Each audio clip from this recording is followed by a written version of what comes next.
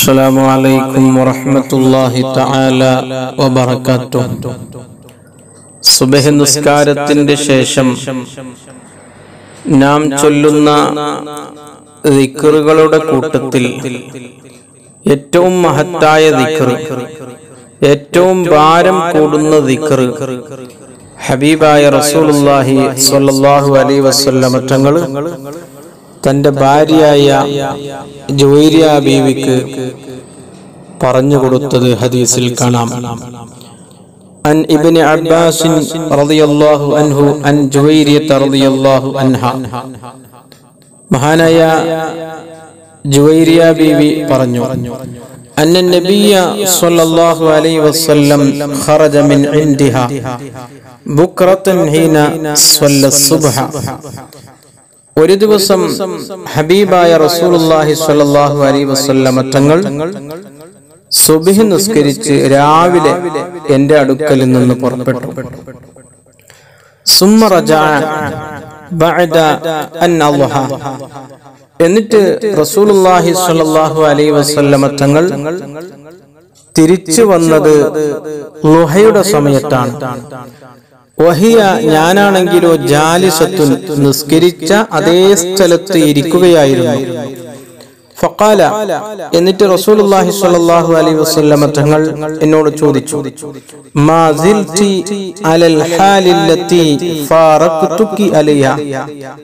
ഞാൻ നിന്നിൽ നിന്ന് വിട്ടുപിരിഞ്ഞതിന്റെ ശേഷം സുബഹി നിസ്കരിച്ച് പോയതിന്റെ ശേഷം നീ ഇതേ സ്ഥലത്ത് ഇരിക്കുകയായിരുന്നു. വേറെ എവിടെയും നീ പോയില്ലേ? കാലത്ത് അപ്പോൾ ബീവി പറഞ്ഞു ഞാൻ അതേ നബിയെ ഞാൻ എവിടെയും പോയില്ല അതേ സ്ഥലത്ത് ഇരിക്കുകയായിരുന്നു. നിസ്കരിച്ച അതേ സ്ഥലത്ത് ഞാൻ ഇരിക്കുകയായിരുന്നു. കാലൻ നബി സല്ലല്ലാഹു അലൈഹി വസ്ലം അപ്പോൾ ഹബീബായ റസൂലുള്ളാഹി സ്വല്ലല്ലാഹു അലൈഹി വസല്ലം തങ്ങൾ എന്നോട് പറഞ്ഞു ലഖദ് ഖുൽതു ബഅദകി ഞാൻ പോയതിന്റെ ശേഷം നീ പറഞ്ഞിരുന്നുവെങ്കിൽ കലിമാത്തിൻ വെറും നാല് കലിമത്തുകൾ. സലാസ മറാത്തിൻ നാല് കലിമത്തുകൾ വെറും മൂന്ന് പ്രാവശ്യം നീ പറഞ്ഞിരുന്നുവെങ്കിൽ ഇതുവരെ പറഞ്ഞ ഇന്നത്തെ ദിവസത്തിൽ പറഞ്ഞ വാക്കുകളുടെ കൂട്ടത്തിൽ ദിക്റുകളുടെ കൂട്ടത്തിൽ ലവസനത്തുന്ന ആ ദിക്റുകൾക്ക് വലിയ മഹത്വം ലഭിക്കുമായിരുന്നു. ആ ദിക്റുകൾക്ക് വലിയ ഭാരം കൂടുമായിരുന്നു. ഏതാണ് ആ ദിക്റുകൾ? സുബ്ഹാനല്ലാഹി വബിഹംദിഹി വരിളാ നഫ്സിഹി വസിനത അർശിഹി വമിദാദ കലിമാത്തിഹി. ഈ നാല് കലിമത്തുകൾ വെറും മൂന്ന് വട്ടം ജുവൈരിയ നീ പറഞ്ഞിരുന്നുവെങ്കിൽ ഏറ്റവും ഭാരം കൂടുമായിരുന്നു. മീസാനിൽ ഏറ്റവും ഭാരമുള്ള ദിക്ർ ഇന്നത്തെ ദിവസത്തിൽ ഈ ഈ ആകുമായിരുന്നു എന്ന് ഹബീബായ റസൂലുള്ളാഹി സ്വല്ലല്ലാഹു അലൈഹി വസല്ലം തങ്ങൾ എന്നോട് പറഞ്ഞു. വലിയ മഹത്വം അള്ളാഹു സുബ്ഹാനഹു നൽകിയ നാല് കലിമത്തുകൾ.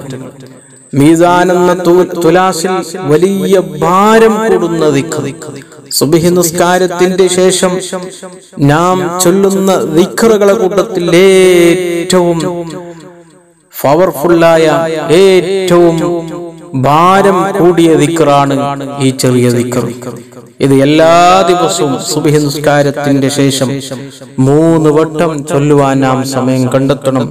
അള്ളാഹു നമുക്ക് തൗഫീഖ് ചെയ്ത് അനുഗ്രഹിക്കട്ടെ. മറ്റൊരു ഹദീസിൽ കാണാം. റസൂലുള്ളാഹി സ്വല്ലല്ലാഹു അലൈഹി വസല്ലം തങ്ങൾ പറഞ്ഞു കലിമത്താനി രണ്ട് കലിമത്തുകൾ ഹഫീഫത്താനി അലൽ ലിസാൻ. നാവിൽ പറയാൻ വളരെ ഈസിയാണ് വളരെ എളുപ്പമാണ്.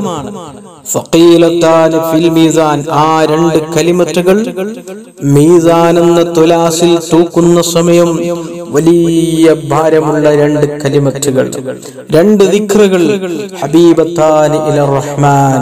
റഹ്മാനായ അള്ളാഹുവിനിക്ക് ഏറെ ഇഷ്ടമുള്ള രണ്ട് കലിമത്തുകൾ. രണ്ട് ദിക്റുകൾ സുബ്ഹാനല്ലാഹി വബിഹംദിഹി സുബ്ഹാനല്ലാഹിൽ അള്ളാഹു ഏറെ ഇഷ്ടപ്പെടുന്ന രണ്ട് ദിക്ർ. രണ്ട് കലിമത്തുകൾ നാവിൽ പറയാൻ വളരെ ഈസിയാണ്. അത് നാളെ മഹ്ഷറയിൽ എത്തുന്ന സമയം മീസാൻ എന്ന തുലാസിൽ തൂക്കുന്ന സമയം വലിയ ഭാരമുള്ള രണ്ട് ദിക്റുകളാണ്. എല്ലാ ദിവസവും രാവിലെയും വൈകുന്നേരവും ഈ ദിക്ർ ചുരുങ്ങിയത് നൂറ് വട്ടം. നൂറ് വട്ടം ചൊല്ലുവാൻ നമുക്ക് സാധിച്ചാൽ നാം രക്ഷപ്പെട്ടു. റബ്ബ് തആല അതിനിക്കുള്ള വലിയ ഭാഗ്യം നൽകി പാവികളായ സാധുക്കളായി നമ്മെ അനുഗ്രഹിക്കട്ടെ. മറ്റൊരു ഹദീസിൽ കാണാം. സുബഹി നിസ്കാരത്തിന്റെ ശേഷം ഒരാൾ സുബഹി നിസ്കാരം നിർവഹിച്ചു നിസ്കരിച്ചു. ഫീ ജമാഅത്തിൻ ജമാഅത്തായിട്ടാണ് സുബഹി നിസ്കാരം നിർവഹിച്ചത്. ജലസ എന്നിട്ടവൻ ഇരുന്നു ഫീ മുസല്ല. അവന്റെ നിസ്കരിച്ച അതേ സ്ഥലത്ത് സുബഹി നിസ്കാരം നിർവഹിച്ച നിസ്കരിച്ച അതേ സ്ഥലത്ത് അവൻ ഇരുന്നു. അല്ലെങ്കിൽ അല്ലെങ്കിൽ അവൻ ഇബാദത്തുമായി അതേ സ്ഥലത്തിരുന്നു ഏതുവരെ സൂര്യൻ ഉദിക്കുന്നതുവരെ അവൻ അതേ സ്ഥലത്ത് ഇരുന്നാൽ കാനലഹു അല്ലാഹു സുബാന അവനിക്ക് നൽകുന്ന പ്രതിഫലം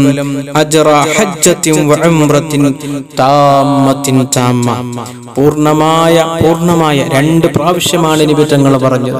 പൂർണമായ പൂർണമായ ഒരു ഹജ്ജും ഒരു ഉംറയും ചെയ്ത പ്രതിഫലമാണ് അള്ളാഹു അവനിക്ക് കൊടുക്കുന്നത്. സുബഹി നിസ്കാരം ജമാഅത്തായി നിർവഹിച്ച് സൂര്യൻ ഉദിക്കുന്നത് വരെ വിക്ര ചൊല്ലി അതേ സ്ഥലത്ത് ഇരുന്നാൽ പൂർണമായ ഒരു ഹജ്ജും ഒരു ഉംറയും ചെയ്ത പ്രതിഫലമാണ് അള്ളാഹു നൽകുന്നത്. ചെറിയ ചെറിയ അമലുകൾ ചെയ്താൽ ചെറിയ ചെറിയ ദിക്കറുകൾ ചൊല്ലിയാൽ വലിയ പ്രതിഫലമാണ് അള്ളാഹു നമുക്ക് നൽകുന്നത്.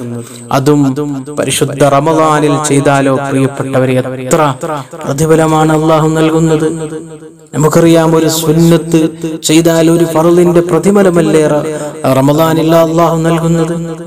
അപ്പൊ ചെറിയ ചെറിയ അമലുകൾ നമുക്ക് ഈ പരിശുദ്ധ റമദാനിൽ ചെയ്യാൻ സാധിക്കണം.